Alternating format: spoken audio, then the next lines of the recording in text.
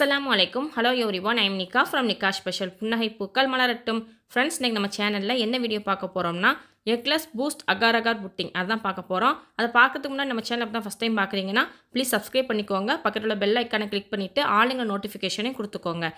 Insta follow பண்ணாதவங்க follow பண்ணிக்கோங்க. உங்களோட ஒவ்வொரு லைக்கும் எனக்கு ஒரு எனர்ஜி பூஸ்ட்டை ஸோ மறக்காமல் லைக் பண்ணிடுங்க நிறைய பேருக்கு நோட்டிஃபிகேஷன் போக மாட்டேங்குது. நீங்கள் ஆளுங்கிற ஆப்ஷனை கிளிக் பண்ணால் தான் நோட்டிஃபிகேஷன் வந்து வரும். நான் எப்போ வீடியோ போட்டாலும். ஓகே இப்போ வாங்க வீடியோக்குள்ளே போகலாம். Eggless agar agar Boost pudding பண்ணுறதுக்கு நாங்கள் எட்டு கிராம் அளவுக்கு அகார் அகார் எடுத்து வச்சுருக்கேன். அதாவது கடல் பாசி. இதை வந்து சின்ன சின்னதாக கட் பண்ணி தான் நான் வச்சுருக்கேன். இப்போ இதை வந்து நான் ரெண்டு வாட்டி வாஷ் பண்ணிட்டு வந்துடுறேன். ஃப்ரெண்ட்ஸ் இப்போ வந்து நான் ரெண்டு வாட்டி நல்லா வாஷ் பண்ணிட்டு வந்துட்டேன்.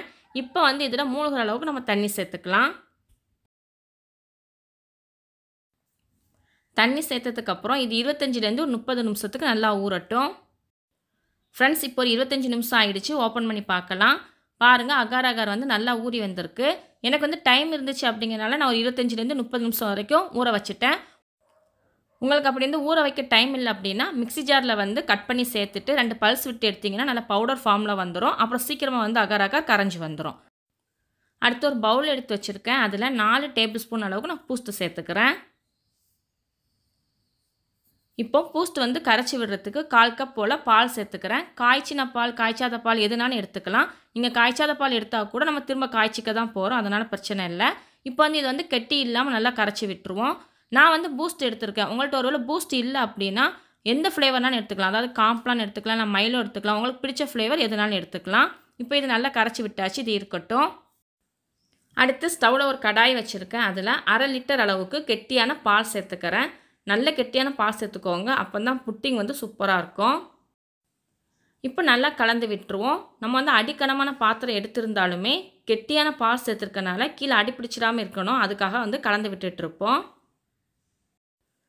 ஃப்ரெண்ட்ஸ் இப்போ பால் வந்து கொதி வர ஸ்டார்ட் ஆகிடுச்சு இந்த ஸ்டேஜில் வந்து மீடியம் ஃப்ளேமுக்கு வந்து மாற்றிக்குவோம் ஏன்னா இப்போ வந்து ஹை ஃப்ளேமில் தான் நம்ம கொதிக்க விட்டுருந்தோம். இப்போ வந்து மீடியம் ஃப்ளேமுக்கு மாற்றிக்குவோம் மாற்றிட்டு இதில் வந்து இப்போ சீனியும் நம்ம பூஸ்ட் வந்து கரைச்சி வச்சுருக்கோம்ல அதையும் வந்து சேர்த்துடலாம் நான் வந்து அரைக்கப் அளவுக்கு சீனி எடுத்திருக்கேன். கிட்டத்தட்ட அஞ்சு டேபிள் ஸ்பூன் அளவுக்கு இருக்கும். ஏன்னா நம்மளுக்கு வந்து பூஸ்ட்லேயே வந்து ஸ்வீட் இருக்கும். அதனால் அஞ்சுலேருந்து ஒரு ஆறு டேபிள் ஸ்பூன் அளவுக்கு மட்டும் நீங்கள் சீனி எடுத்துக்கிட்டால் போதும். அடுத்து நம்ம பூஸ்ட் வந்து கரைச்சி வச்சுருக்கோம்ல அதையும் லைட்டாக கரைச்சி விட்டுட்டு சேர்த்துக்கோங்க. இப்போ நல்லா மிக்ஸ் பண்ணி விட்டுருவோம். மீடியம் ஃப்ளேமில் வச்சுட்டே மிக்ஸ் பண்ணிக்கோங்க. சீனி வந்து நல்லா கரைஞ்சி வரட்டும். இப்போ இதை வந்து நம்ம கொஞ்சம் கொதிக்க விட்டுடலாம்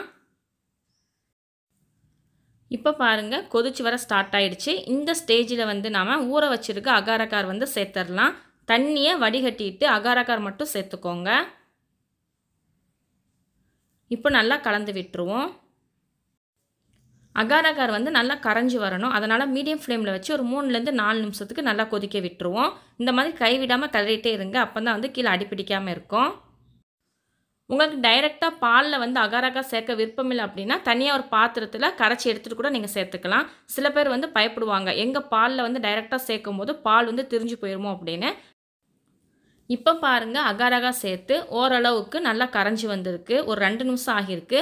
ஒன்று ரெண்டு கடந்தாலும் பிரச்சனை இல்லை. அது வந்து நம்ம புட்டிங் சாப்பிடும்போது கடிபடும் அது நல்லா தான் இருக்கும். எனக்கு அது ரொம்ப பிடிக்கும்.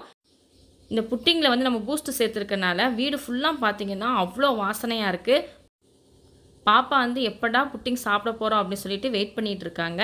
நம்ம வந்து டைரெக்டாக சேர்த்துக்கனால தான் மூணுலேருந்து நாலு நிமிஷம் வரைக்கும் நம்ம கொதிக்க விட்டுட்ருக்கோம் இதே வந்து நீங்கள் அகார அகார தனியாக காய்ச்சிட்டோ இல்லை பவுடர் ஃபார்ம்லேயே சேர்த்திங்க அப்படின்னா ரெண்டு நிமிஷம் கொதிக்க விட்டாலே போதும். நான் இப்போ ஸ்டவ் வந்து ஆஃப் பண்ணிட்டேன். நம்ம எந்த பாத்திரத்தில் வந்து புட்டிங் செட் பண்ண போகிறோமோ அந்த பாத்திரத்தை முதல்ல எடுத்து வச்சுக்கோங்க. நான் வந்து இந்த கண்ணாடி ட்ரே தான் எடுத்து வச்சுருக்கேன். இதில் தான் வந்து இந்த புட்டிங் வந்து செட் பண்ண போகிறேன் இப்போ அதில் வந்து சேர்த்துக்கலாம். அந்த ஒன்று ரெண்டு தெரியுது பார்த்தீங்களா அது எனக்கு ரொம்ப பிடிக்கும் அப்படிங்கிறனால தான் அந்த மாதிரி இருக்கட்டும் சொல்லி அப்படி விட்டுட்டேன். அடுத்து அந்த பபுள்ஸ் இருக்கிறத ஃபுல்லாக லைட்டாக அப்படி உடச்சி விட்டுருவோம். அப்போ தான் வந்து நான் ஸ்மூத்தாக இருக்கும் புட்டிங் பார்க்குறதுக்கு இப்போ இது ரூம் டெம்பரேச்சரில் நல்லா ஆறட்டும். ஆறுனதுக்கு அப்புறம் நம்ம ஃப்ரிட்ஜில் எடுத்து வச்சுக்கலாம். இல்லை உங்களுக்கு வெளியில் வச்சு சாப்பிட்னா கூட நீங்கள் ஆறுனது பிறகு கட் பண்ணி சாப்பிட்டுக்கலாம். இப்போ பாருங்கள் நல்லா ஆறிடுச்சு. நான் இதை இப்போ எடுத்து ஃப்ரிட்ஜில் வந்து ஒரு அரை மணி நேரம் வச்சு எடுக்க போகிறேன் நல்லா ஜில்னஸோடு சாப்பிடும்போது சூப்பராக இருக்கும். அதுக்காகத்தான். ஃப்ரெண்ட்ஸ் ஒரு அரை மணி நேரம் ஃப்ரிட்ஜில் வச்சு எடுத்துட்டேன். இப்போ வந்து இதை வந்து நம்ம கட் பண்ணிக்கலாம்.